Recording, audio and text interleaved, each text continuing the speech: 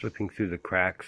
Melissa's piece about all the trouble, all the pitfalls when it comes to making art. This is going to be in a show at Cloud Tree Gallery this Friday.